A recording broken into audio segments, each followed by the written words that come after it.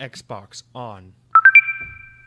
Welcome to Xbox On, a podcast with one host about one console, Xbox. I am said host Jesse DeRosa, and on today's episode, we'll be talking about the latest Xbox news for the week of December 23rd, 2021, including Double Fine is working on multiple future projects, Back 4 Blood developer Turtle Rock got bought out by Tencent, ho ho ho, happy holidays, you sweaty green freaks, and more.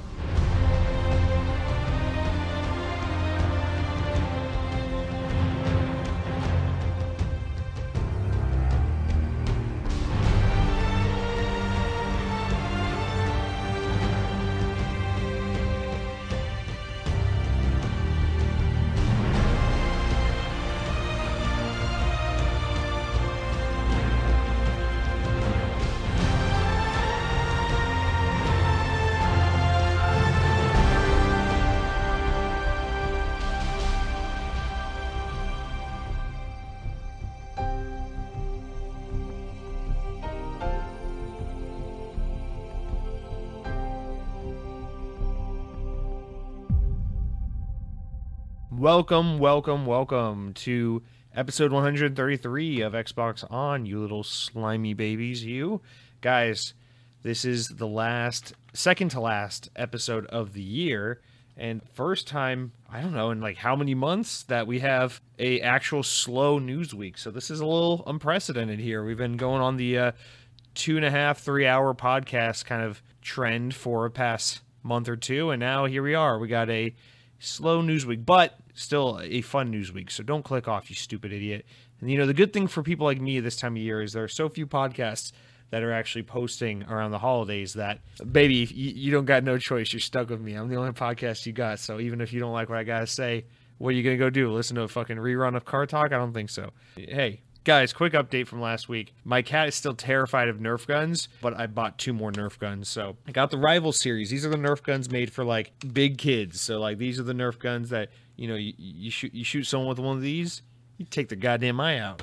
Not really, but you know it's more fun than the, the regular Nerf guns. Anyway, I, I want to start off this week's episode. We're gonna try to follow the format as normal as we can, but I will say there are fewer write-ins this week, fewer news stories to get to this week, and there are no there's no game drop from Xbox Wire, but that doesn't matter. We've been kind of skipping that a lot lately anyway.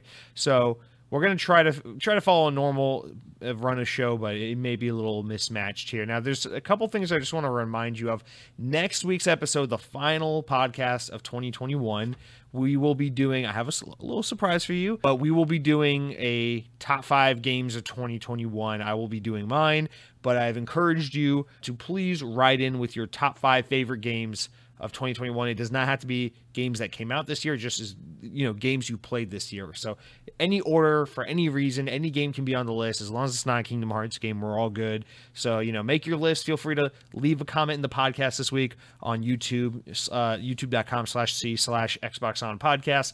Uh, leave leave a comment with your top five games of the year, and we'll be able to do that on next week's podcast. A bunch of you have already written in, so we we've got a growing list. But guys, I need more. I need more and more and more. I'm an insatiable asshole, and I need more of your comments. So please leave those. We'll have a fun, a little special episode next week to kind of round out the year.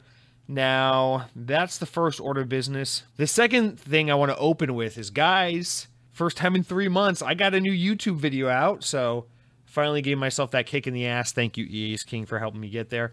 Uh, I, I put out a new video. I worked all weekend on it. It's uh, it's it's a new one. It's different. I'm just trying to I'm just trying to do fun shit. You know, I used to try to take YouTube years ago. I did YouTube and I tried to do it really seriously. I tried to really like try to build a channel and be consistent with the schedule and all that. And I realized, you know, you you burn yourself out real fast because it's disheartening when you put like 40 hours into a video and then it's like great. Uh, over the past two months, 30 people have watched my video and i'm pretty sure like 12 of them are like family members and coworkers so I, am trying to just have fun with it this time but i need to get videos out at a more regular clip than what I've been doing because three months is too long. But guys, new video is up now. It's on my other YouTube page. I try to keep this YouTube page where Xbox On goes just dedicated to the podcast so that people who just want a podcast can have that.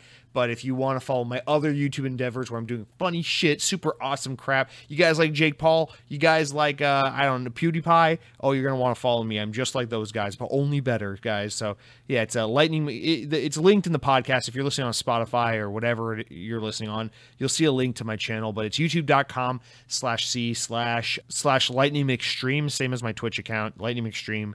Yeah, it's all, all about ranking. It's a ranked list of our favorite defunct Taco Bell menu items. It's a lot of fun. It was going to be a quick 10 minute video, ended up being a 25 minute plus video, but it's it's a lot of fun, and I put a lot a lot more editing into it than I initially thought I would, and uh, it turned out turned out quite fun. So please give it a watch. Give give me a subscribe over there if you don't mind. It it would mean the world to me if you if you if you if you're like, hey Jesse, I've been listening to your podcast for a while. I, I like what you're doing here. Then I would really highly beg you to give my my new YouTube page a, a check, a look, because man, YouTube videos take just way more work than the podcast, so it, it, it, can be it can be a little much when it's like, wow, 20 hours of work, 10 views, huh?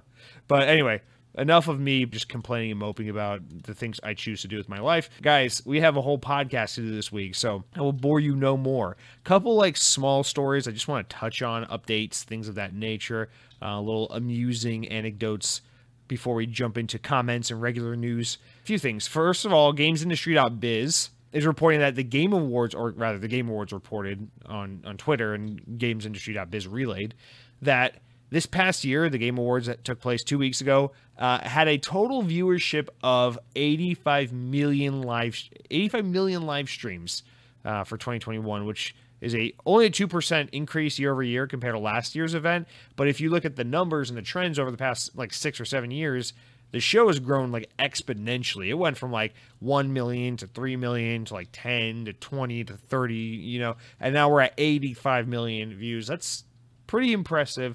So I just want to give a, a, shout out to them and congrats on that. This is a this is a big show. You know, we we heart I especially rag on this show quite a bit. We talked about it the whole the, the week we were going over the game awards, just basically how the awards part of it is stupid, the ad part of it is stupid. There's so much stupidity and cucking and and just industry uh, jerking off kind of going around the show. And the only real reason to watch is for the cool announcements. But you know, this I, I want to give credit where credit's due. This is you know, just simply by by sheer number and audience, this is the biggest you know kind of year event that happens with video games and or at least in terms of like game award type uh, award ceremony recognition kind of events. And you know it's not easy to build and grow a show like this so i want to give a give props to Geoff Keighley and the team for a successful year. So i found that quite amusing. I, at this point man it's just like the fact that they have that much reach and that much viewership and they put on that meh of a show every year. I just just like, man, I feel like uh, it's there. You know, the the opportunity is there for the taking for someone to just be like, hey, here's a better show. But yeah, 85 million viewers. That's that's no joke. Next up, I want to point out a, a website uh, I've, I've, never heard of until this week called The Loadout. Uh, wrote a really interesting little piece, kind of adding up all the games that were introduced or available through Game Pass in the year 2021 and adding up that value to see how much value was in that Game Pass subscription this year. And so they added all the games that kind of came and went, were available on the platform throughout the year, and based the pricing of each game based on what the game costs if you buy it from Microsoft Store, which is obviously how you buy the games if you bought them all digitally. Uh, so pretty pretty fair price comparison there, and everything added up to just over six thousand three hundred U.S. dollars or forty seven hundred plus euro. So that is a shit ton of money when you think about a service that you're paying ten to fifteen dollars a month for, and you're getting things like Outriders and MLB The Show and and Halo Infinite and Forza Horizon Five and all these games is day one. Back 4 Blood day one. That's a really fucking solid. I mean, obviously, there's no one out there who's debating whether or not Xbox Game Pass is a good value, but that's a that's a fun way to put it into context. It's like, okay, you paid, you know, you pay $15 a month times 12 months. That is eight, 180, you know, it's your Xbox Live and your Game Pass combined. $180 gets you $6,300 worth of games to play. And a lot of those are massive games that come out day and date on the service. I think that is an objectively phenomenal deal. So I just thought that was a lot of fun. And then another one here, and this should, I guess this could have been like a proper news story. It's just, I don't really have much to say on it because it's just such an old story from, or rather, it's it's a news story about something that happened so long ago, and it, it holds no relevancy um, other than it just kind of falling under that category of like, oh, that's amusing, right? But uh, VGC did a story that was relayed from a podcast or Twitch interview called The Real Brandalorian And in the in the conversation, Kim Salzer, who served as EA's director of product marketing from 2000 to 2003, at that time when she when she was in that position, the publisher EA had uh, rights to the Harry Potter games. You may remember the Harry Potter licensed tie games of the of that era. Um, so in the conversation, when asked about the games that she was involved with, that she was most excited about, but ultimately never saw the light of day, so canceled projects, of course, she noted a Harry Potter massively multiplayer online game. She says, "quote A big one for me because I was so personally involved in it." And it's such a huge IP that has lived on is a online massively multiplayer game for Harry Potter. Thoroughly researched, very confident in the success of this, but it was killed for lack of a better term uh, because EA was going through the changes at that time and they just didn't know or believe enough that the Harry Potter IP would have a shelf life longer than a year or two. So that's so crazy to think about in hindsight because we know Harry Potter is one of these franchises. It's like Lord of the Rings, it's like Spider Man, it's like you know, Back to the Future. It's like just one of those timeless franchises and movie franchises that people just hold on to and is endlessly, you know, just uh, beloved and, and quoted and rewatched and admired from generations and generations. It's become an instant classic. Obviously, it was that way basically from the get when the first book came out, but it's funny to think that EA was like, oh, we don't know if we believe in this IP long term, even though, you know, come 2003, 2004, the first Harry Potter, the first few Harry Potter books had already been out, what, like four or five years? Didn't the first Harry Potter book come out in like 98 or 97 or something like that? So actually, I could be totally wrong. Maybe it was 99. I don't know. But I mean, I just find that, I find that absolutely insane that someone was just like, oh yeah, we don't, we don't know if we believe in this thing that's like already proven to be a massive hit and then 20 years later it's just like harry potter is just as big as it's always been essentially that's crazy but I mean, obviously, it holds no relevancy today just because we're 20 years removed from this information. There's, you know, this is nothing more than just a callback to a project that clearly never made its way off off the drawing board. So that's that's too bad. Uh, honestly, I, I feel like there's still a lot of potential for a Harry Potter MMO. I think I think Harry Potter MMO has more potential than a lot of other games that actually have MMOs. Like they, you'll see like DC superheroes online. I think they're making a Marvel game that's like that right now. Like I, I don't know. It doesn't Harry Potter make perfect sense? You make your own wizard. You, you, you like role play your little school life. You could do like a Persona kind of. Dude, you could actually you could just make a Harry Potter Persona game. But uh, that's that's beside the point. I just feel like Harry Potter MMO game just that that that IP screams MMO and it's absolutely ridiculous. That's like 20 years later, and no one's made something of that. But at the same time, I guess MMOs have kind of taken a backseat a little bit. It's more of a general games as a service is the kind of trend these days. So even that, you could definitely, God, like a, you could definitely do a Harry Potter online platform based, serv- you know, service based platform. Man, what a what a missed opportunity. Uh, anyway, then the final one. This is an update uh, from a story from last week. Mazman, also known as my daddy, but not really. He's not my daddy. Wrote in and said Jesse, looks like Stalker 2 developers heard the podcast. They've now backed off all NFTs for the game. Guys, update. Last week we talked about Stalker 2 adding NFTs, taking the Ubisoft route. Everyone was pissed, but now we got an update Despite its attempts, this is from VGC, despite attempts at an explanation, fan backlash continues just a few hours after a deleted tweet that tried to replace a new, much shorter statement announcing plans to completely scrap the idea of NFTs in Stalker 2. announcement reads Dear Stalkers, we hear you. Based on the feedback we've received, we've made the decision to cancel anything NFT related in Stalker 2. The interests of our fans and players are the top priority for our team. We're making this game for you to enjoy, whatever the costs. If you care, we care too. So this is obviously the way to handle it. So I, I I feel like you might be surprised to hear my take on this. I'm first of all, I'm I'm glad that they're backing off this and we're not going to have NFTs in Stalker 2. That makes me that, that puts me back to being significantly more interested in this game. But the the thing that does kind of suck about this is Stalker 2 is obviously a game that's a lot more indie kind of gr- you know grassroots effort kind of development attitude towards how this game is being brought up made and funded and how this development team is you know making it. So the thought of doing something like this NFT thing just because this is a smaller more independent team reads to me more like oh well these guys are just you know trying their hands at a couple ways to make this a more profitable experience so they can you know, make a living off and survive off the development of this game. So even though I don't like this approach, this NFT approach, I, I feel like I'm I'm more sympathetic to and willing to give a pass to something like this. Whereas with Ubisoft, I'm like, fuck you, Ubisoft. You have all the money in the world. No one likes you. Why would you do this? You know, it's it, it's theoretic. It's morally the same bullshit, and, and and they should be held to the same standard. But I can't help but be like a little more like, oh, they were just trying to find a way to make the game profitable.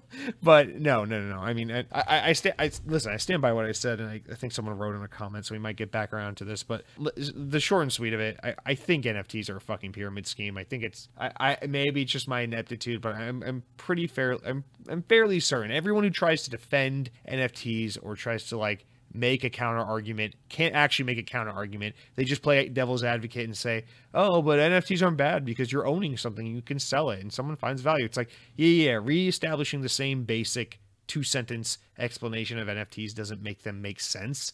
It's the fact that no one in the world wants to buy one of these things that makes it not make sense. So whatever. But well, I'm glad to see that they made the right decision clearly they are much smaller, much much less capable of adapting in in, in dealing with backlash. You know, the the potential consequence of something like this going belly up is is much more devastating to a smaller team than than something like you know Ubisoft facing backlash for something they're doing in one of their games. So they they kind of can't afford the the bad the bad backlash and, and kind of need to do this. So I think that's why they were so quick to be like, okay, okay, okay, we'll back off on this.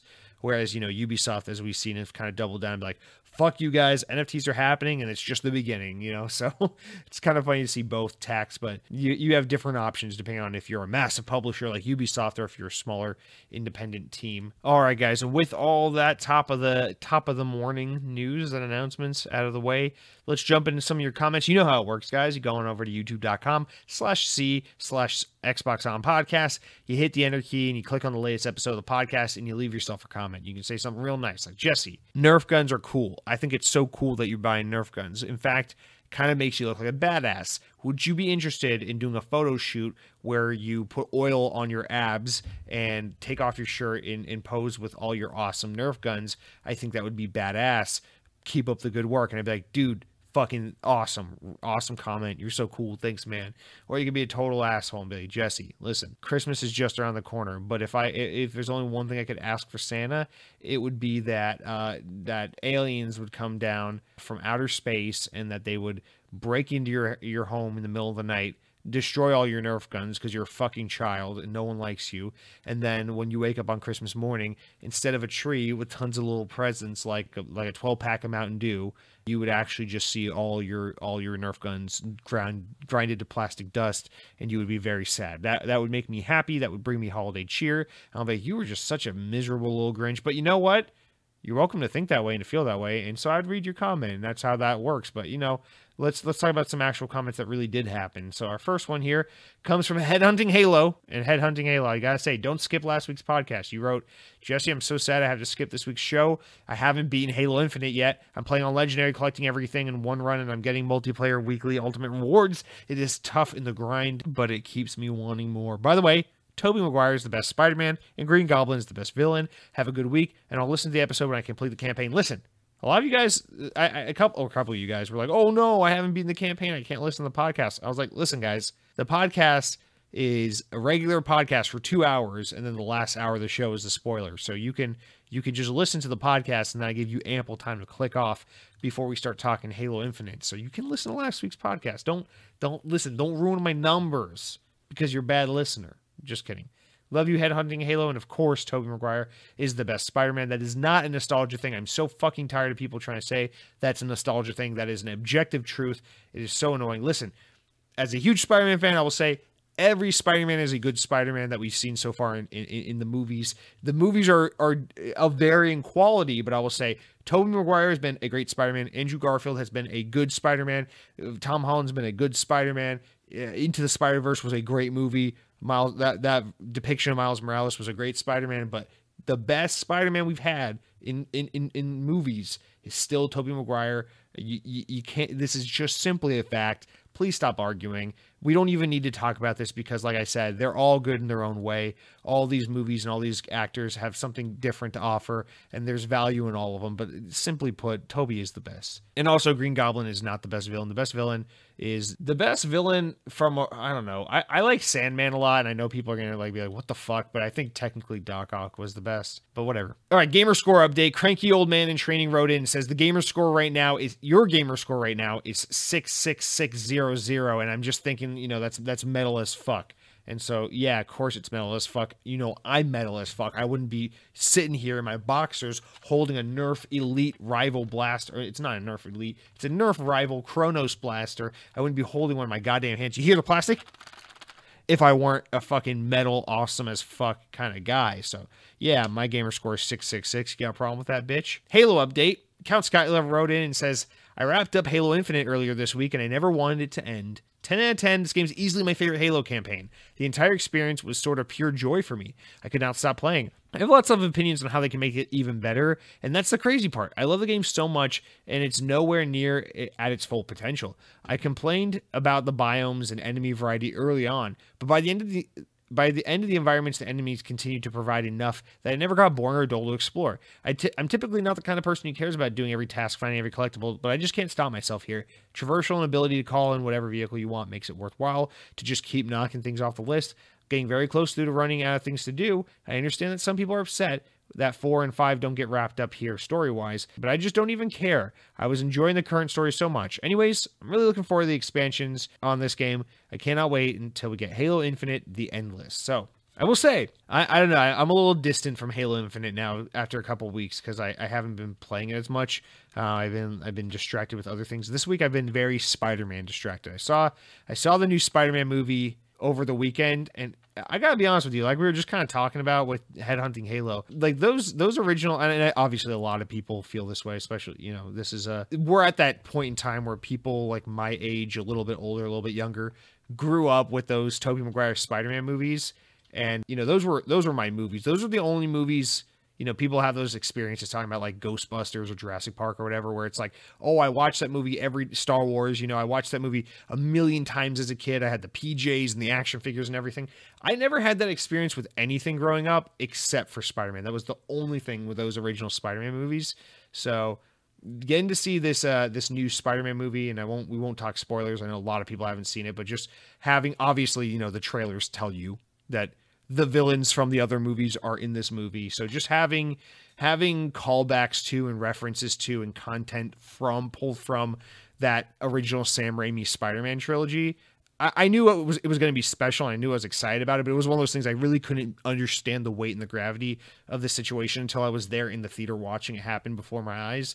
But like I don't I don't know, dude. Like from I was genuinely depressed when when it became apparent we weren't going to get a Sam Raimi Spider-Man 4 movie and so just I don't know, being here at age 26, sitting in the movie theater watching in the year 2021 a new Spider-Man movie where I'm watching Sam Raimi's characters come to life on screen again. You know, Doc Ock and Green Goblin and and, and Sandman come to life on screen again. It's just like it, it was a very emotional moment for me.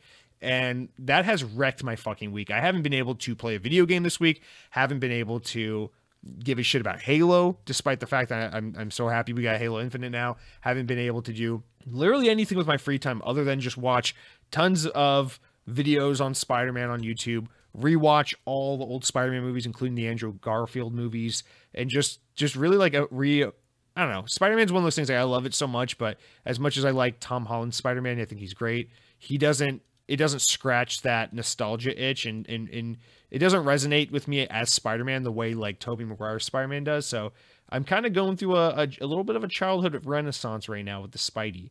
And I know that has nothing to do with Halo Infinite, but that's just my way of saying I'm having a hard time really thinking about Halo and articulating my thoughts on Halo right now because that was I, I was just so caught off guard by Spider-Man right now that I'm just like, whoa. but to me, Halo and Spider-Man have so much in common because my uh, my feelings on Spider-Man as far as like toys and TV shows and movies are concerned. Uh, generally, that is my my feelings towards you know games. Games are where I have that kind of emotional attachment connection. So normally in the game space, my that kind of nostalgia is usually reserved for like Halo Three or Sonic Unleashed or you know, Guitar Hero or fucking Left 4 Dead. So it's weird. It's usually I don't have this level of like deep nostalgia and excitement for something fictional outside of video games. But man, right now I'm just. I will, I will say though, talking about Halo Infinite, since you're clearly not even fucking talking about Spider Man. since you're talking about Halo Infinite, I will I will say, yeah. The the the one thing again, no spoilers. We're not talking spoilers. I'm I'm gonna make sure before we won't talk about Halo Infinite story details out in the open freely like that for a long time. We'll give people a lot of time to really catch up before we can go around talking about how Master Chief gets completely naked in this game. But one thing that keep that keeps staying with me with Halo Infinite is how there are so many criticisms I have on this game that are entirely legitimate criticisms that if it were any other game these criticisms would would really hinder my opinion on it. I have you know, I, I personally loved the story of Halo Infinite, but I am also extremely critical of the story at the same time. I have a lot of opinions about the lack of bio, uh, of biodiversity and environmental diversity in the game, but it didn't impact my enjoyment of the game whatsoever. I have huge complaints about the fact that the Prometheans aren't even in the goddamn game, and so enemy variety is lacking, and and it's just like there's no explanation for where these guys went. But still, I had so much fun with this game that I'm also able to look past that. Halo Infinite is a very rare, very random example of a game where it has some very serious problems, but the game is so incredibly fun and captivating and, and, and, just special and unique to experience that you're able to look over things that are generally pretty serious, pretty serious um, criticisms and, and, and, and missteps. And I mean, this just goes to show kind of, you know, I think Halo Infinite or at least for me, speaking from my perspective, you're someone who listens to this podcast and gets feedback on games from me because you listen to this podcast. I will say Halo Infinite is the perfect example of why subjectivity, why it's important to understand subjectivity because I will get on this podcast and I will rip on Zelda Breath of the Wild all the time, like I always do. If you guys watch my stream, you see me do it sometimes. Uh, I do it on this podcast sometimes. And I have some scathing criticisms of Zelda Breath of the Wild, a game most people consider to be a masterpiece, a game that personally I think is good, but not nearly as good as other people think. And I just will tear that game apart about how its story is shit, its gameplay is repetitive and shallow, and all these things that it does. Its its world is empty and boring, and all these things I criticize that game for. But when I experience something like Halo Infinite, I'm able to recognize it's like, listen, man, Halo Infinite has probably like equal issues to Zelda Breath of the Wild, where it's like, you know, Breath of the Wild story sucks because the acting is terrible, the writing's terrible, and the story is bare bones and, and pedestrian. Halo Infinite story is really well written, really well acted, really well pulled off in terms of just the the cinematic and in, in, just engrossing, captivating nature of it all. But if you're someone who follows the Halo lore to a T, Halo Infinite has massive story issues because it just sweeps under the rug Halos 4 and 5. It just explains massive plot points of Halo 5 and what happens after that game, just kind of off screen and behind the scenes and things like that. It, in some ways, it does a terrible job of being a sequel to Halo 5. But again, it's just this game just subjectively, it clicks with me, it resonates with me. So I'm able to overlook that and just be like, I don't care. It's the game's a masterpiece. It's a 10 out of 10. I love it. And I just think it's important to use this as an example to be like, guys, subjectivity matters. It, it, it, matters that we understand what it is and we take that into account when we're listening to people's opinions because we talk about these things and it's like, I sound so hypocritical, you know, saying Zelda Breath of the Wild sucks for X, Y, and Z. And then being like, Halo Infinite has problem X, Y, and Z, but I'm willing to overlook that and call it a masterpiece anyway. It's like, you fucking hypocrite. But as much as I recognize, yes, it's hypocritical, it's like, this is subjectivity. It's like, in Halo Infinite, the game is so goddamn good and captivating to me personally that I'm able to overlook its many, many issues, its many glaring issues, and be like, yeah, the game's still a fucking masterpiece anyway.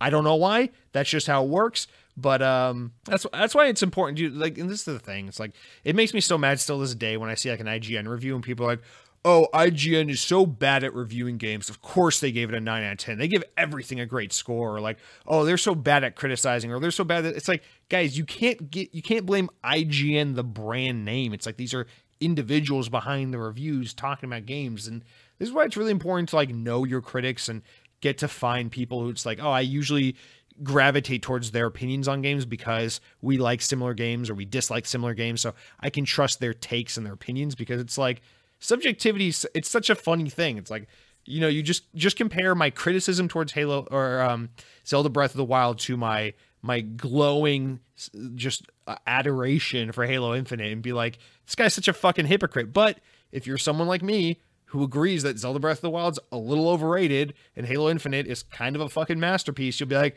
I, ju- I get what he means. Like, I, I just gravitate towards this, these kinds of games and this game works for me. And uh, yeah, man, it's like this Halo Halo Infinite has some serious problems, but at the same time, this is this is the first thing I said when I talked about my opinions on Halo Infinite, having played the campaign, and it's the, the thing I'll wrap up with right now, which is that I can think of very, very few games in the history of my entire life of playing video games. I've been playing video games since I was four years old. And I can think of like like maybe three to three to five games in my life where it's just like, yeah, the game came out, I sat down to play the game and I had zero interest in doing anything other than continuing to play this game until I saw it through the end. I didn't want to sleep. I didn't want to eat. I didn't want to take a break. I didn't want to let my eyes rest at all. I didn't want to go do my job. I didn't want to go walk my cat. I didn't want to go pay my taxes. I didn't want to go uh, solve world hunger. I didn't want to do a single thing other than watch the TV, hold the controller, and continue to experience this game. And despite Halo's Halo Infinite's issues with story, and lack of diversity in environments, lack of diversity in enemy types, promise of a big open world, but actually being a pretty small scale, kind of empty, regular size open world. All, despite all these issues, it's just like, I don't care. This game was a masterpiece. Like, I would, it took me 14 and a half hours to beat Halo Infinite. I paid uh, zero additional dollars other than my $15 a month Game Pass subscription. I would have gladly paid $500 for that experience. I wouldn't trade it for the world. It was worth every fucking second. I don't regret a thing. It was great. I don't know, man. That's just how that's how subjectivity works. It's how some things just resonate with you and some things don't. But Count Skyla, thank you for writing a really thoughtful, long comment about your thoughts on Halo Infinite. And thank you for allowing me to completely derail your comment by talking about how I love Sam Raimi's Spider Man trilogy and then coming back to Halo to talk about why I like Halo, basically just ignoring what you're talking about. Count Skyla, you were such a kind, you're such a, a kind and patient individual to allow me to just hijack your your point like that. But you know what? That's that's why it's called Xbox On Podcast because uh, you turn it on and it just goes on and on and on and on and it's kind of just rambly like that. Dead Captain James, remember him? Well, I'm going to make you remember. He says, I will only be able to watch part of your podcast this week because I'm 15 hours into Halo Infinite and only four missions into the campaign. Update I finished the game. Holy fuck, it was good. I'm so happy with the direction of Halo. That was Dead Captain James writing in to say, I love this game so much, I'm pouring all this time into the game. I can't even get past mission four because I'm just having so much fun playing it. And then a few days later, updating to be like, yo, I couldn't put the game down and I finished it and it was so good. So, guys, you don't have to take my word for it, but look at Count Skyla and look at Dead Captain James. They got nothing to say but glowing, glowing reviews. You'd be a fucking idiot not to trust them. These guys are goddamn geniuses. They know everything. My mom writes in and says, I think at this point it's clear that we need to get you a sponsor in the baby wipe world. I would love that. Now, I told you we get back to NFTs, and unfortunately, here we are. We'll, we'll keep it brief, I promise. Wade Lau writes in and says, Yo, yo, yo, word. Hope everyone is doing well and safe during this holiday season. Jesse, how dare you have a different opinion than me and use your own podcast that you work so hard on to, to diss on ketchup? What would you go to McDonald's and say? Give me a Big Mac meal with a side of mayonnaise? All joking aside, I think NFTs are bullshit.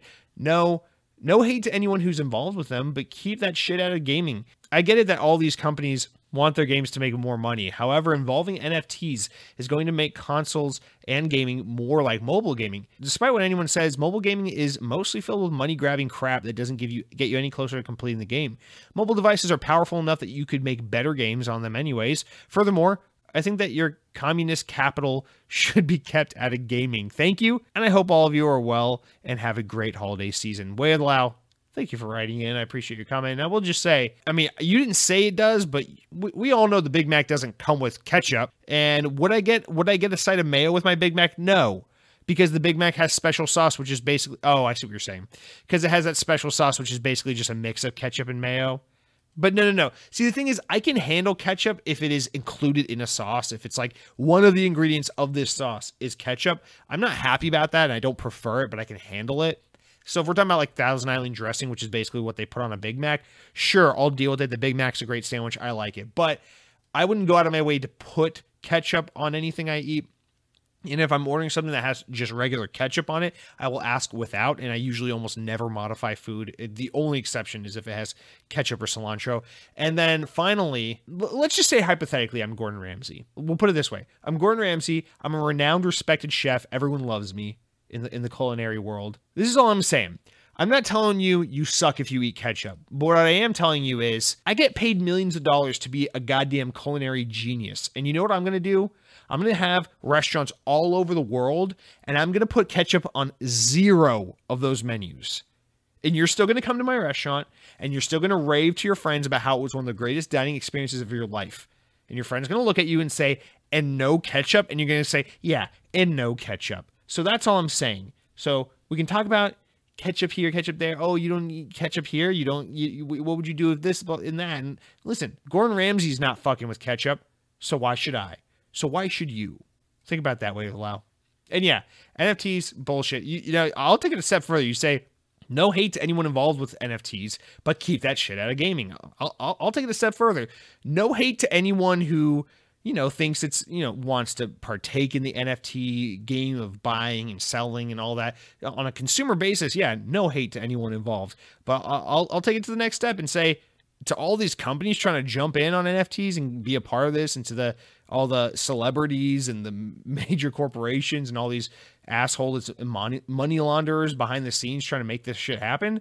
I will say absolutely hate hate thrown your way 100% because I, I deeply believe NFTs are a fucking scam. So I, I, will definitely throw some hate your way. But yeah, I, I, I think I think that's a lot of why gamers are upset about the NFT thing. Is it does add sort of a ugly microtransaction kind of mobile gamey thing to gaming where even if you know you you play Tom Clancy's XDefiant Xenoblade Chronicles or whatever and they're like listen man our NFTs have no impact on gameplay. It's all purely optional and cosmetic. Sure, that's fine, but your game still looks ugly when I boot up the game and the menus are trying to get me to go to the store and buy this bullshit and invest in that bullshit. It makes your game shittier. I'm just telling you right now, games are shittier because of microtransactions, and this would make that already ugly experience even uglier if you threw NFTs into the mix. So I totally take your point, Wade Lau. You're absolutely right. It, it, introducing NFTs to games, especially AAA $60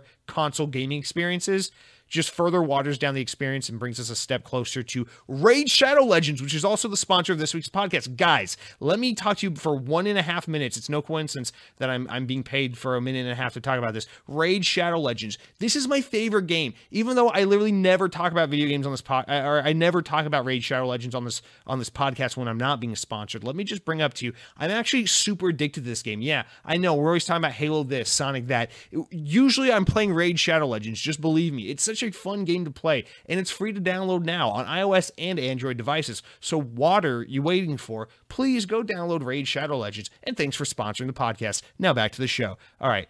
Donut debate. Our final comment comes in from my brother Josiah, who writes in. Cronky, you may remember him. He got sick this week, guys. He had a cold. Might be Omicron. I don't fucking know, but he did not show up to the stream, and therefore we're all going to shun him for that. Josiah writes in and says, We do a lot of talking about burgers and Brazilian steakhouse and tacos, but there's an area we haven't discussed. Jesse, what are your feelings on donuts? Personally, I love Krispy Kreme. Call me trash, but they are magical. As a kid, I just like glazed or chocolate crap, but as an adult, I've become more sophisticated and I like jelly filled uh, the best.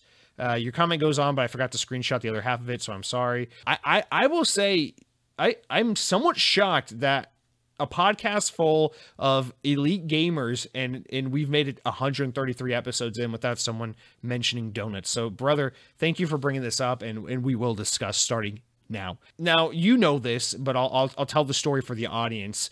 Uh, we both grew up going to one of those like mega churches every Sunday, where you, know those weird churches where it's not like just a church with like a pew and a choir, and and the guy comes out and talks about God for an hour, and then you leave. It's like one of those churches that's like the size of a fucking college campus, and they got like rock bands that try to appeal to the teenagers, and they got like pool tables and beanbag chairs, and it's like one of those like quote unquote cool rock skater churches. And you know, we growing up in like the in in like the early 2000s, it, it still had a lot of that 90s kind of flair going on, so It was a lot of like OG like dude in the in the middle school room at my church growing up, we literally had OG Xboxes with Project Gotham Racing and shit like that hooked up. Like we were playing like DDR and Project Gotham Racing and foosball and pool and listening to like rock bands sing about God and shit during like Sunday at, at church. Like we went to like the cool church. And the reason I bring this up is because they have this room, this sacred, coveted room at my church called the Donut Room and it was this room for it was only a- available for people who worked for the church or or volunteered or donated time to the church. And the thing is growing up you know going to church every week my dad was a volunteer. He would he would be like one of the sunday school leaders or whatever for like the like the elementary classrooms. And so we would get to church like 20 minutes early every day. And then my brother and I would would sli- you know slip on into the donut room with my dad. And they every every week again, it's one of those like mega churches. They would order like 50, I'm not even kidding, like 50 to 100 boxes of Krispy Kreme donuts, just massive coolers full of like Coca Cola, Dasani water bottles, bagels, cream cheese, just everything you can think of. And they just had it laying out. And so, you know, as a six year old, eight year old, 10 year old growing up, going to church, you got to understand just like my fucking eyes were just like, what the hell? Like, God is cool because I get to go play Halo 2 and eat donuts every Sunday morning. So that was kind of my that was the only time we ever ate donuts because my, my parents were not going to buy donuts otherwise. And and I remember growing up being like, "Yo, Krispy Kreme is the sh- like this is awesome. God is cool because He gives you donuts." And that was kind of my my foray into the Krispy Kreme, which for those uninitiated, that is the premier American donut brand uh, as as far as you know ma- major um, donut chains are are are concerned. Now, the the reason I bring this up is because there's there's a second side to this because Dunkin' Donut, which you know many many people will be familiar with, one of the more common donut chain brands, wasn't prominent in the southeast in Georgia and Atlanta where where we grew up until until probably around the time I got into high school.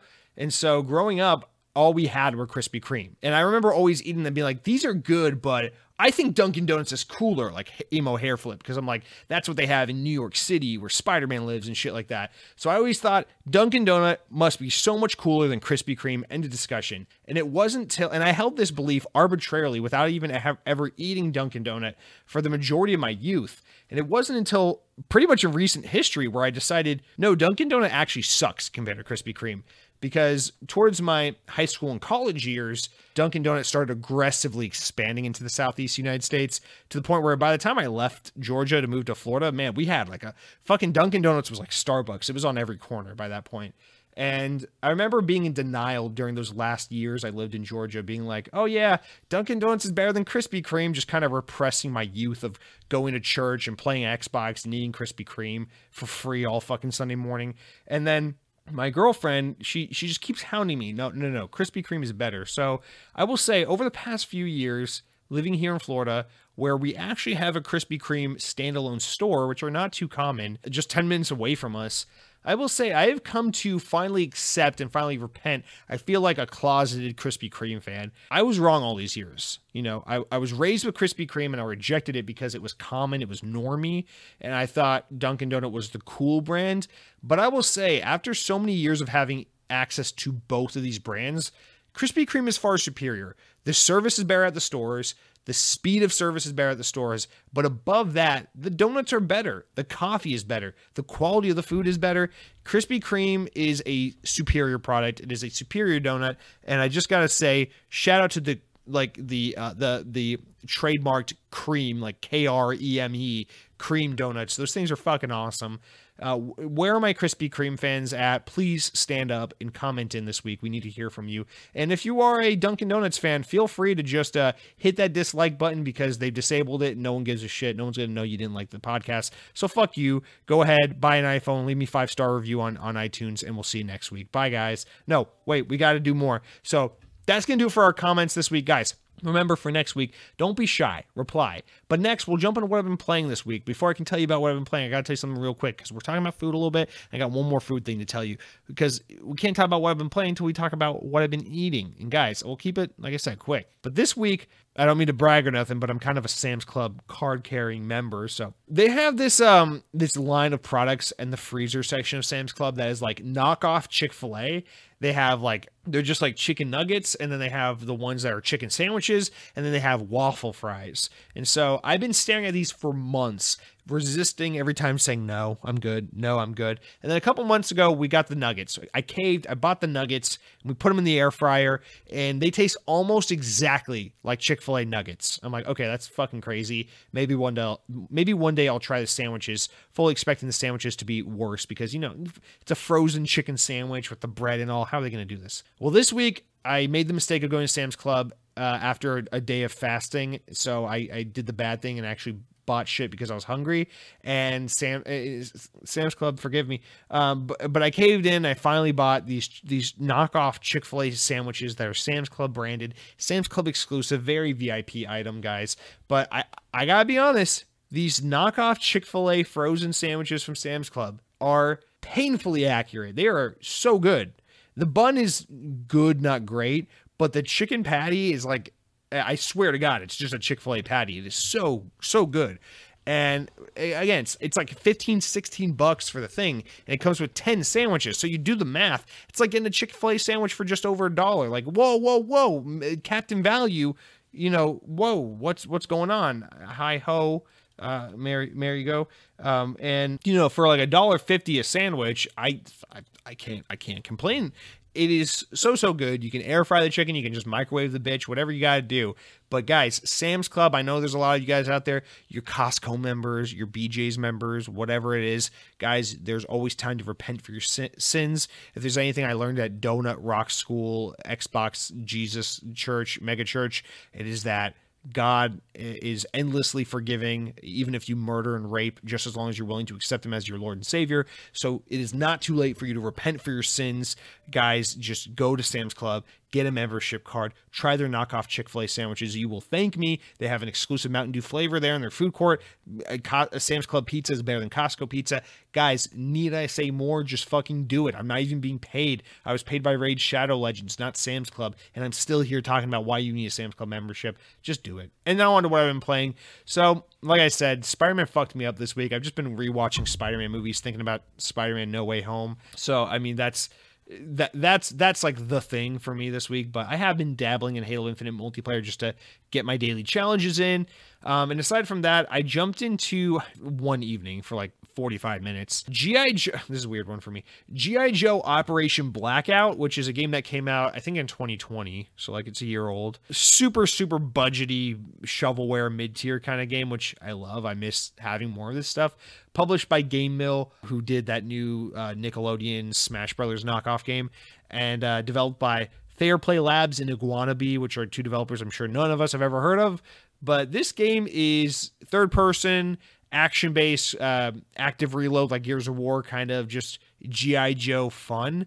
And you know what? It's it's, it's quite a fun game. The, the writing and, and, and story and everything is dumb just as you expect, but it's like Saturday morning G.I. Joe cartoon and it's fun. It's got this little comic kind of cinematic or like comic cutscene kind of thing going on. But the gameplay is fun. It's it's it's a little shallow. It's not super in depth. The controls are like serviceable but not great and it's a lot of fun. It was originally like a 40 $50 game, but I think for $10, which is what I paid for it on sale, this is more than worth the cost of admission. I've, I don't know why. I, I was never a G.I. Joe fan growing up at any point, but I really liked the Snake Eyes movie that came out this year for some arbitrary reason. And so I guess now I'm buying a G.I. Joe video game because when you're an adult, you uh, find a way to, to remain poor by spending money on things you don't need. And I, I don't know. I think this, I don't have much to say about this game uh, because it's just so paint by numbers, but it's fun. It's a fun weekend game. Shut off your brain just kind of play through it, see it from start to finish, get your achievements and bounce, you know, never never see it again. And I'm totally fine with that. I think there there's room for more games like this. I miss kind of middleware shit like this, and I, I, wish we had more of it. So they actually the same publisher. I don't know who, who's developing it, but the same publisher just put out a similar kind of quality uh, Nerf first person shooter game, and uh, I'm gonna wait for that one to go on sale for ten bucks too. And I'm also gonna I'm also gonna jump into that. So I don't know. That's that's what I've been playing because I'm I'm I guess I'm mentally ill. I, I really wanted to jump into the Gunk this week, which just came out in Game Pass. I'm hearing really good things about it. Apparently, only like a four and a half hour game. Uh, but I really want to jump into that. It looks very good. I know some of you have already played it, so if you have, feel free to write in about it. I'd love to hear more about your experience. But guys, that's it for what I've been playing, what I've been eating, or comments, everything at the start of the show. Oh, I also played the. Uh, how did I forget this? I, I also did play the Matrix Awakens, that Unreal 5 engine experience thing that that they announced at the Game Awards. That's just free to download on Xbox and PlayStation. Guys, this is this Unreal 5 demo is it's not a fun game, but it is incredibly impressive. This tech demo. It's one of those things where it's like obviously they put like 100% effort into making this look and feel just super next gen and super technically impressive it makes you wonder, you know, how many games using Unreal Engine 5 are actually going to look this good or even close to this good, but it is terrible. Like the the character models in this demo have a very uncanny valley kind of look to them where it's like pretty great but not 100%, but it is the environments. I swear to god, the environments look 100% ripped out of a movie. They have like the same kind of film grain and camera lens flare and everything, but it, it, it just it just looks like you're playing a Matrix movie environmentally. The the the cars, the buildings, everything looks so incredibly photorealistic, and it's I it's hard to it's hard to say anything about that because it's like right, this is what we say every five or ten years about games. Wow, it looks so real. I can't believe it's a video game. Five years later, wow, that game looks like shit. But in the year 2021, this Unreal Engine 5 experience looks beyond realistic. And if you have an Xbox Series X or PlayStation 5, I think you would be an absolute dumb idiot with a tiny brain and an even tinier penis if you did not download and try this uh, Unreal Engine 5 demo experience. But with that properly out of the way, guys, let's jump into our, our short news segment this week.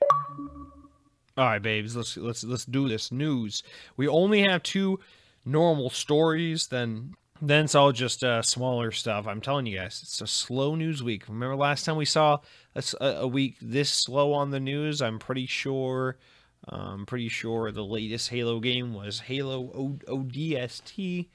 But our first story comes from the VGC, the Video Games Chronicle, one of my favorite sites these days, who report or relay the Psychonauts 2, the developer Double Fine, is working on new multiple multiple sorry, multiple new projects according to a recent blog post. In an update on the crowd-funded platform Fig, the team revealed that it is moving on from Psychonauts 2 onto new projects. Yes, projects with an S, plural.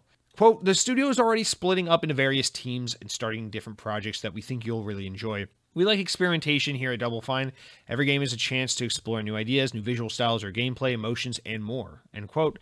Earlier in the year, Double Fine boss Tim Schafer said that the team wants to work on something original and completely surprising.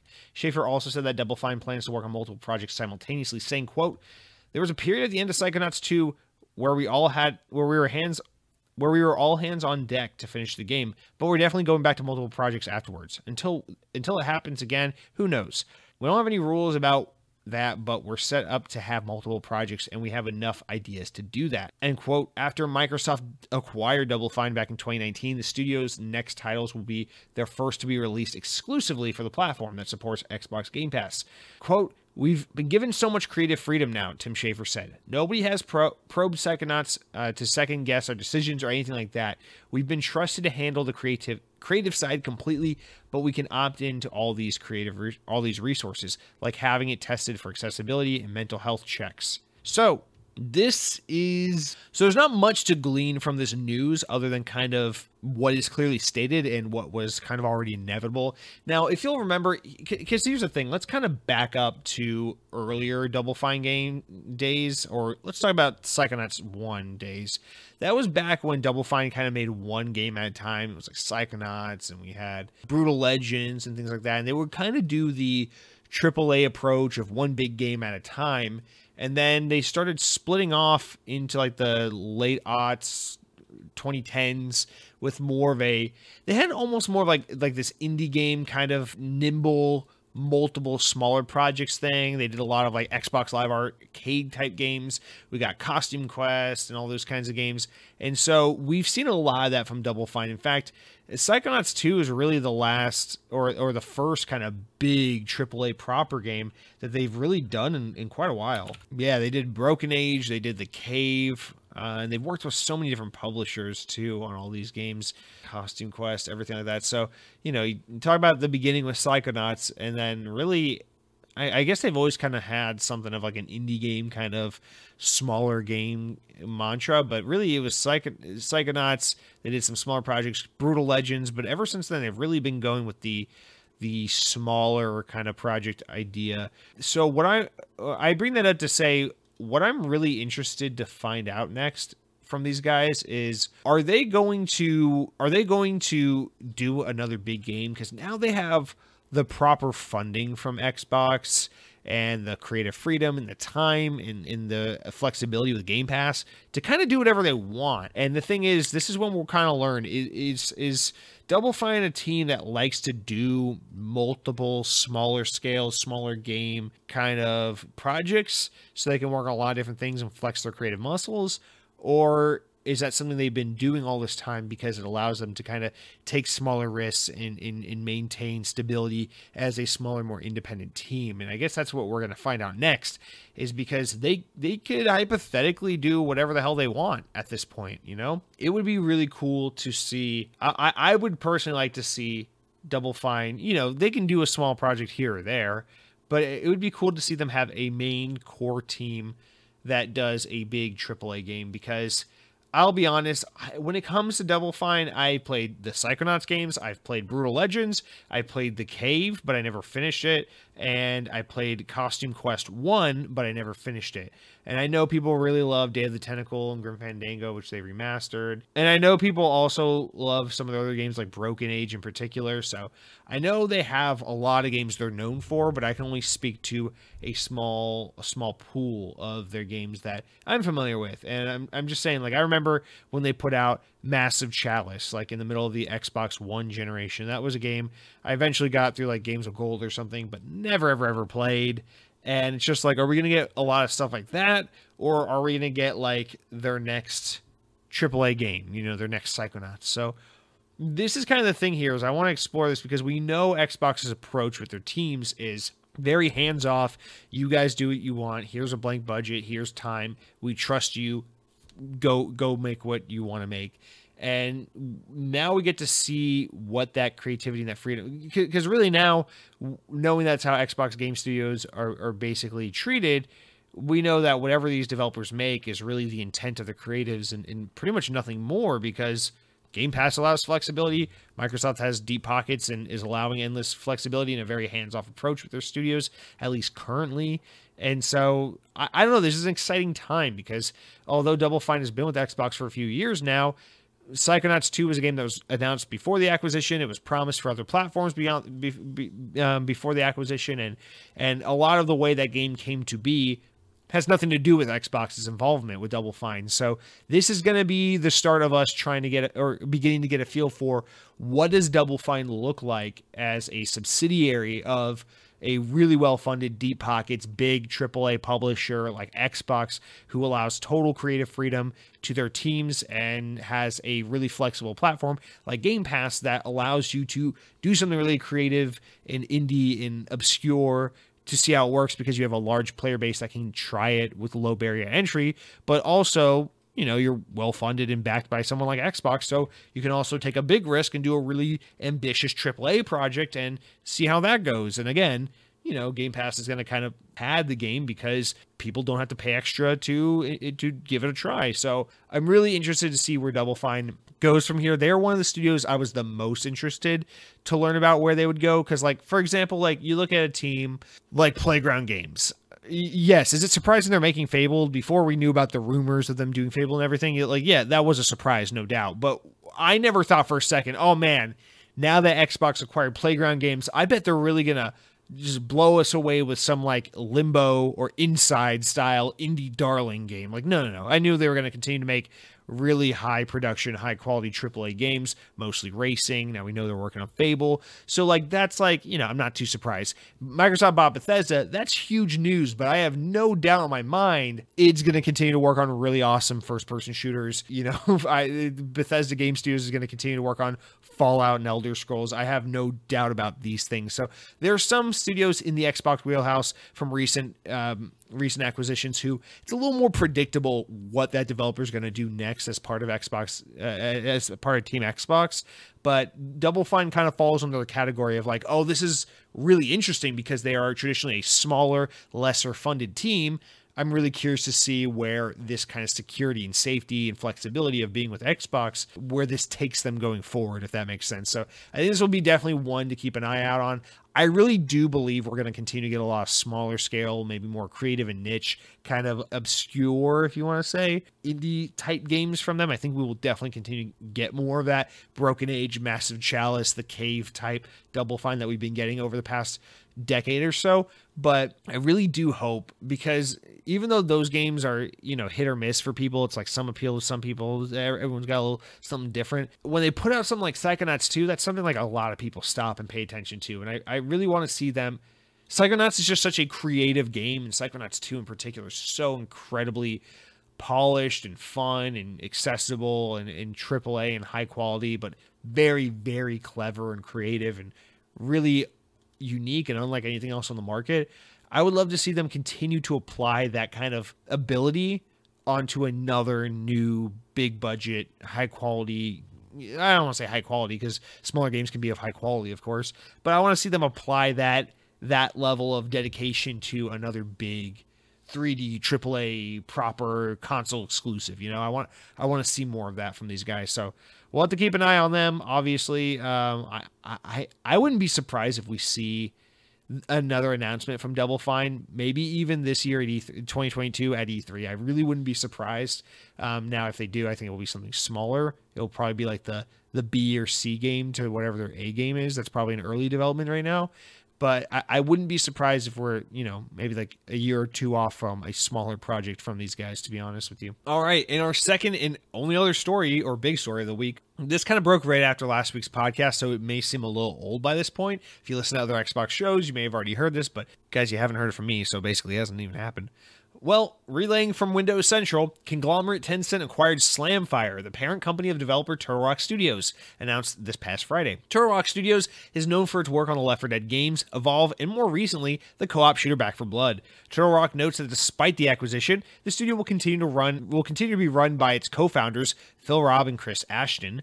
Turtle Rock Studios plans to use the resources from the acquisition to expand the team and to develop new and exciting multiplayer experiences. The team is also promising to provide future updates on any plans decided for Back 4 Blood. The quote reads, "Additionally, we get to do something really we've never really done before as a studio."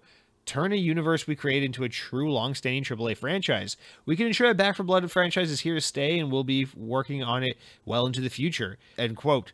Tencent has rapidly grown in the gaming industry over the last few, years, owning Riot Games and acquiring studios like Leyou, uh, while also investing in minority stakes in numerous teams like Epic, Bloober, Don't Nod, Platinum, and uh, weren't they? Was it NetEase? Uh, maybe it was NetEase, but they also like threw money into Bungie. Ah, anyway, that um, I, I will say.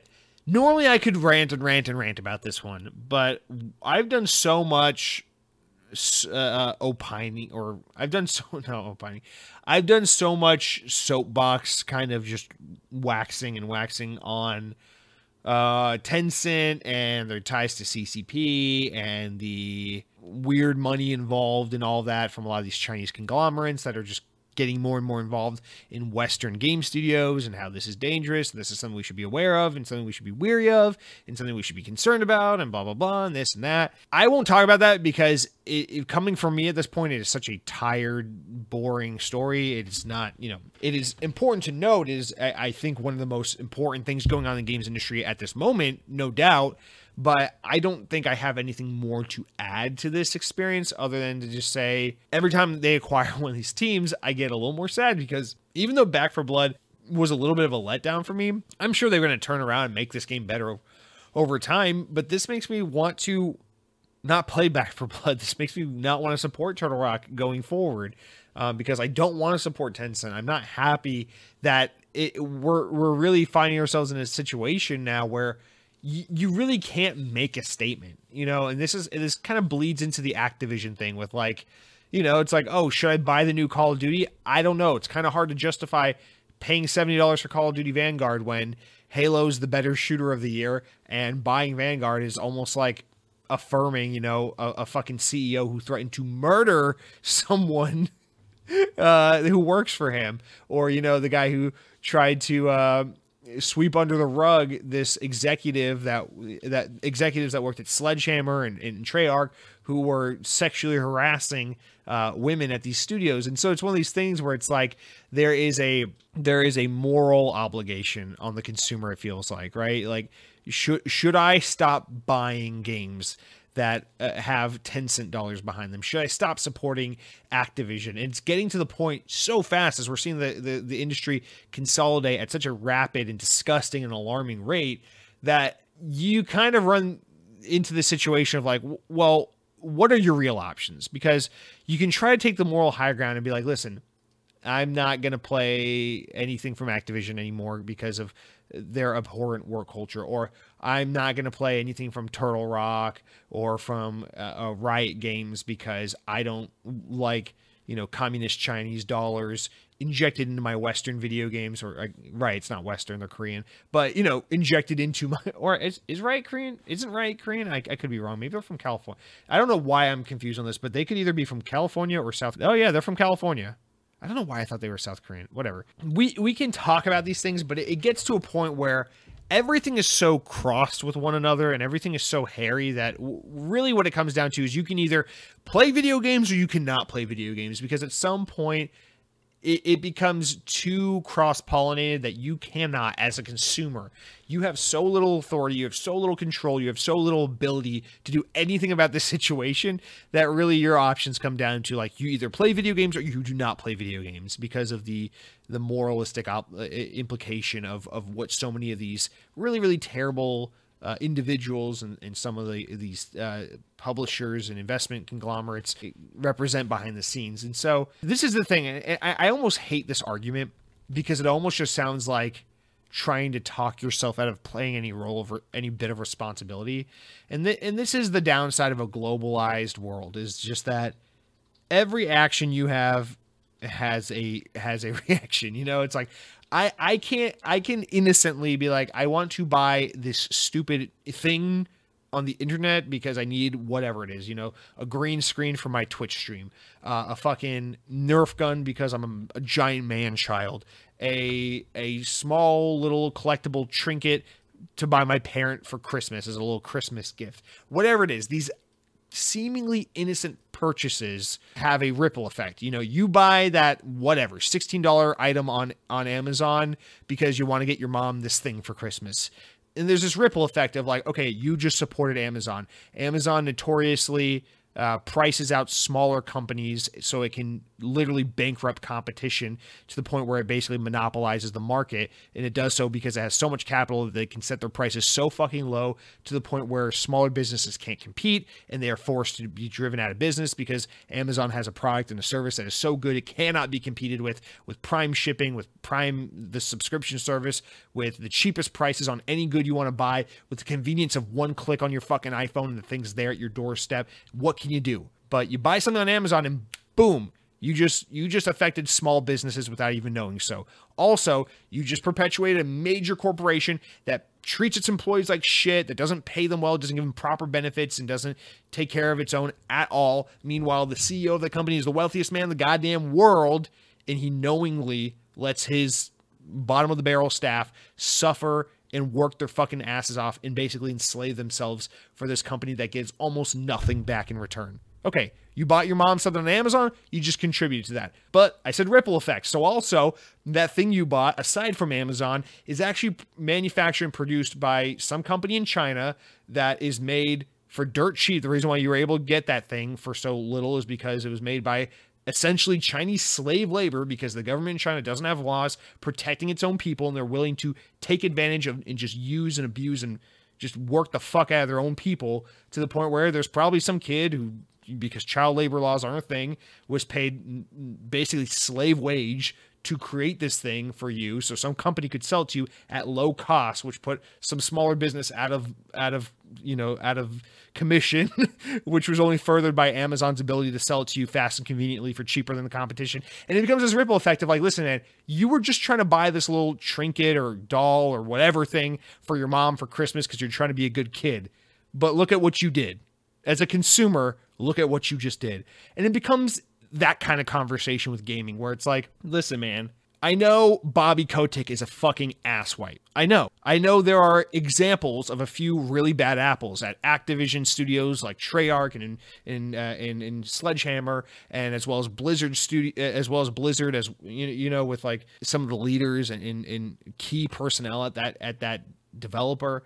But the thing is, you not buying Diablo 2, you not buying Call of Duty Vanguard fucks the people that don't suck more than anyone. You know, the developers who were like, hey, I know you guys are tired of Call of Duty. I, I know everyone riffs on it because it comes out every year and you guys think it's so uninspired. But like, listen, this is like the first big game I ever worked on. I, I'm this random developer you've never heard of at Sledgehammer Games who is promoted to a big directorial role or a big you know like producer role in this on this project and this was a huge opportunity for me to help lead a team and help work on a project and leave my stamp on this game and this franchise I love to death and to try and reinvent and, and freshen up this game in a way that you know, it had a lot of my personality and a lot of my passion and a lot of my creative efforts poured into this. And you standing back and just saying, fuck Activision for this guy that fucked over this girl and the CEO that covered for him you saying fuck Activision as a whole and not buying the game is hurting me, the creative, who just wanted to make a really awesome game for you to experience.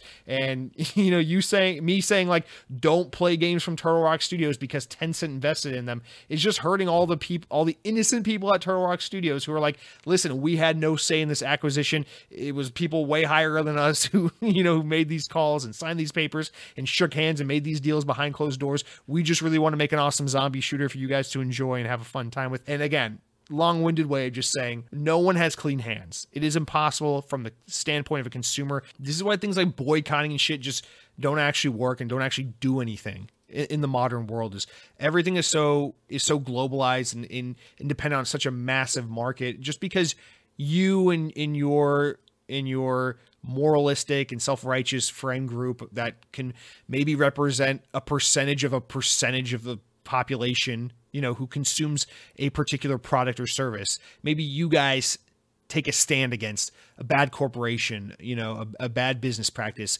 uh, uh, an employee scandal, something like that, in, in hopes that it will raise awareness, it will make something good happen. But ultimately, you are completely powerless, and nothing you do will change that. And so, yeah, you can say, I swear off Turtle Rock, I swear off Activision, I swear off Amazon, because – even if my personal decision doesn't make a difference in the grand scheme of things, I know that I'm trying my best to live a morally righteous life and to not contribute in my own small, meaningless way to to the to the the chaos and in in the destruction and everything. And unfortunately the, I, I don't know. I don't know what to say. This is one of those things. It's like the the only way for real change to to occur really isn't for you or i to decide what games we do and don't play. Unfortunately this becomes a bigger political conversation that i'm not about to have here on my xbox podcast.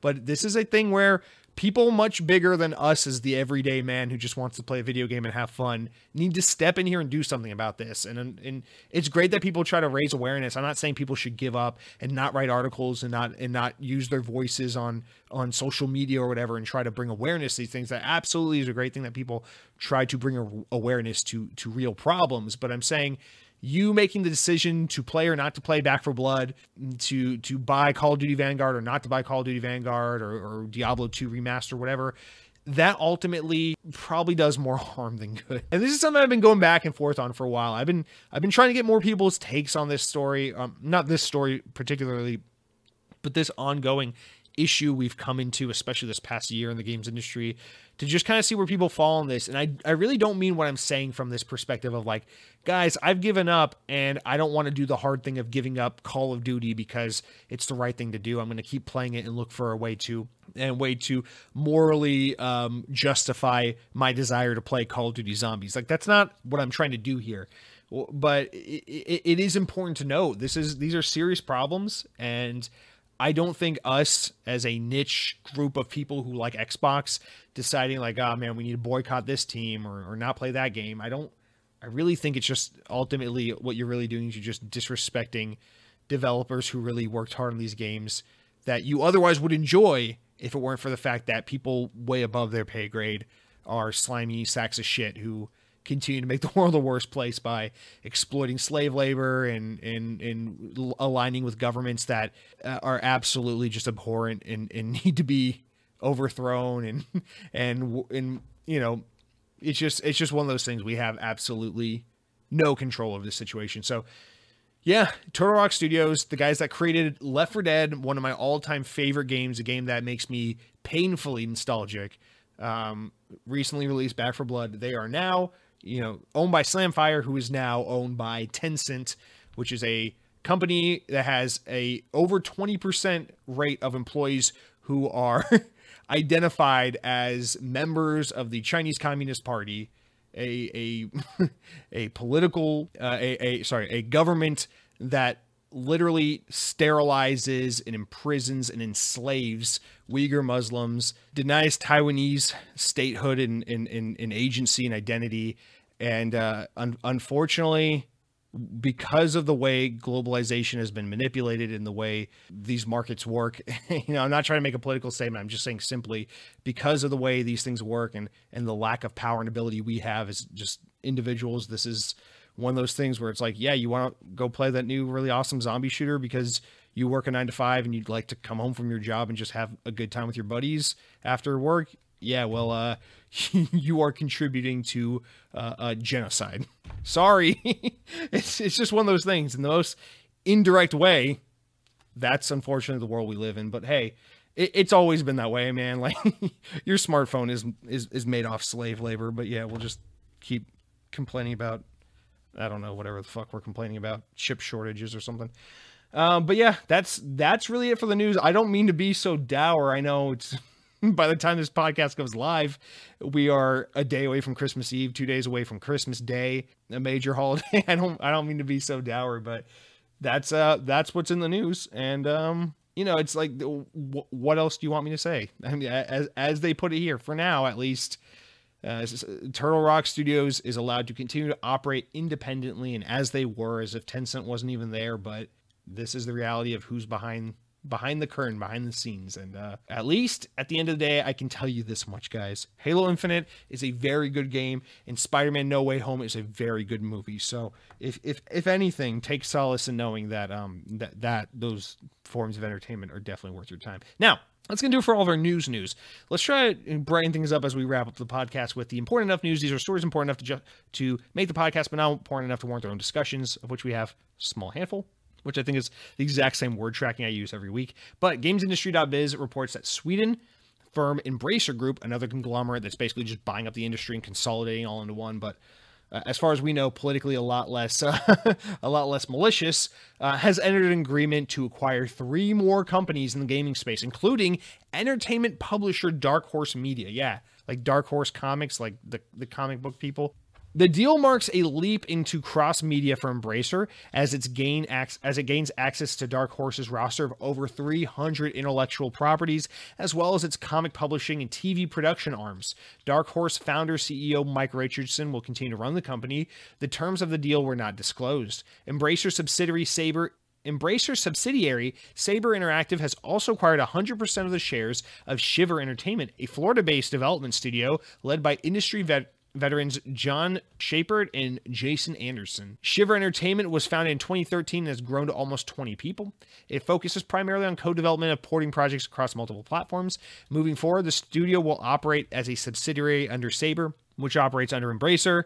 Uh, Schappert, who currently serves as Shiver Entertainment CEO, will take on significant responsibilities in Saber's work for hire business. Lastly, Embracer has entered an agreement to acquire 100% shares in German video on demand channel Spot Film Networks uh, via another subsidiary, Koch Media. The company will also operate under Koch going forward and will continue to operate operations from the current office in Berlin. Terms of Shiver Entertainment and Spot Film Network deals were also not disclosed. We'll say Koch Media actually also pretty fucking slimy as they uh, are huge, huge, really prominent lobbyists uh, in here in Washington, the U.S. They have a lot of money being thrown away, uh, being thrown around into politics. So that is another slimy, slimy group of very wealthy people who are buying up all the uh, entertainment in the entertainment industry. But this would normally be a pretty big news story, but I just have so little insight and so little information in in, in knowledge of, of any kind kind of offer here that we're gonna leave it in this in this kind of uh, echelon of news just because I really wouldn't be able to do the story justice. But this is some massive talent, and we're starting to see this more and more where these conglomerates are starting to get outside of just video games as far as entertainment industry, but also by comic book companies and board game companies and all these other kinds of things. So pretty soon here, it's going to be Embracer Group, Tencent, Xbox, Sony, the Walt Disney Company, and I don't know N- NBC or some shit like that. What, who, what is it? I don't fucking know. It's it's gonna be pretty slim here, man. There's gonna be like five overlords in the entertainment industry. So let's uh let's let's embrace let's let's embrace ourselves for this. Next up, VGC reports that Ubisoft have revealed its plans to stage an immersive symphonic co- concert to celebrate Assassin's Creed's 15th anniversary, even though no one gives a shit. Created in partnership with Overlook Events, the event will include a full orchestra and choir supported by video lighting and sound effects. The world premiere of Assassin's Creed Symphonic Adventure will take place at the Grand Rex in Paris on October 29th, 2022, with a world tour scheduled to begin in early 2023. Notable, there will be no NFTs associated with this symphonic adventure. Next up, VGC reports that the first season of content for Battlefield 2042 will seemingly begin on March 2022, in March 2022, according to a data mine. Trusted Battlefield data miner trusted Battlefield data miner Temporyal Temporyal Temporyal uh, tweeted that the game's client includes weekly missions for 12 preseason weeks. The point this points to a March 2022 release for the game's first season. The tweet also contains text referring to a new map included in season one, which is likely named Exposure. And next up, speaking of Back 4 Blood, a new update has released for the game, adding a single player campaign mode. Until now, the only option available for solo solar solo players, goddamn, uh, was a training mode, which had the game's booster cards unlocked so players could experiment with them because you know that's apparently fun. However, the new mode did include any sort of progression. Today's update adds proper solo campaign with actual progression, meaning players can play through the story with the same benefits and upgrades that they'd receive if they were playing online. Thank God. Now I can play the game. Lastly, VGC reports that Far Cry's crossover Danny Tre- Trejo mission are now available to play more than a month after they were accidentally released early. The DLC contains two missions, both starring the actor himself rather than a character. So that's going to do it for all of our news this week. Now, normally I would do the new game releases of the week, but the Xbox Wire actually didn't put up a list. So I will say the Gunk is a newly released game. People seem to really digging that. I am interested in giving it a try. Absolutely check that out. Xbox is also having a massive year end sale that just began. 50% off a lot of games and shit like that. So definitely look through that sale if you're looking for something on the cheap to jump into. And then finally, of course, Halo Infinite. I mean, if you if you haven't played it, you're going to hell. And as a reminder, guys, games with gold for the uh, month of December as we round out the month. The Escapist 2 still available. Tropico 5 Penultimate Edition is available until January 15th. Orcs Must Die, you missed it. So fuck you. I don't think I downloaded that either. Oops. And Insanely Twisted Shadow Planet is available until the 31st of the month. So be sure to download those games. But guys, with that, that's going to do it for our podcast this week. We kept it under an hour and a half for the first time in like, mm, I don't, maybe like a year. I don't know. God, that's impressive. But thank you guys so much for your support. I do want to say for those of you who celebrate the holiday, Merry Christmas. Have a wonderful holiday. For those of you who uh, celebrate Hanukkah, I know it's a little belated, but happy Hanukkah. For those of you who celebrate Kwanzaa, of which I've never met a person in my entire life who celebrates Kwanzaa, but they are those people are out there, and so I will say if you happen to be one of them, happy Kwanzaa to you. Also, happy New Year, but we will we will commence one more time before the New Year. So we'll see you next week for the final episode of the year of Xbox On. Please be sure to check out my new YouTube video. It's linked in the con- in, in the description. Uh, it would mean a lot to me. Follow me on Twitter at Jesse DeRosa.